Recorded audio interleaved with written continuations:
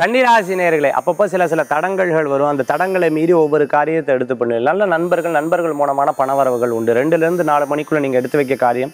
சக்ஸஸாக முடியறதுக்குண்டான வாய்ப்புகள் நிறையா இருக்குது ஃபோன் கால்ஸ் மூலமாக நிறைய விஷயங்கள்லாம் உங்களுக்கு சாதகமாக நடக்கும். திருமண காரியங்கள் கைகூடக்கூடியதாக இருக்கும்.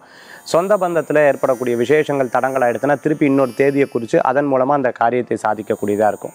சில நல்ல விஷயங்கள் நடக்கும்போது அப்பா இறைவன் நம்ம கூட இருக்கார். எப்படியோ காப்பாற்றுறாரு அப்படிங்கிற ஒரு எண்ணங்கள் உங்களுக்குள்ள ஆழ்ந்து சோசிக்கக்கூடியதாக இருக்கும். இன்றைய தினத்தில் பார்த்துட்டுனா கன்னிராசி என்பர்கள் ஜோதிடம் பார்க்குறது ஆன்மீக விஷயத்தில் ரொம்ப இன்ட்ரெஸ்ட்டாக இருந்திருக்கு. தெய்வ பக்தியில் ரொம்ப இன்ட்ரெஸ்ட்டாக இருந்திருக்கு. இது தெரிஞ்சுக்கணும் அது தெரிஞ்சுக்கணும். புராண விஷயங்களை பற்றி யோசிக்கிறது.